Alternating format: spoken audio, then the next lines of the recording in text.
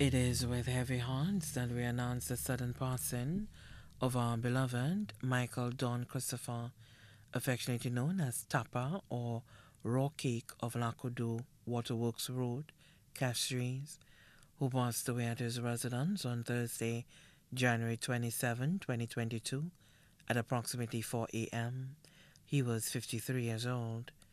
The funeral service for the late Michael Don Christopher will be held on Friday, 4th March 2022 at the Castries Evangelical Church, Waterworks Road, Castries at 2.30 p.m.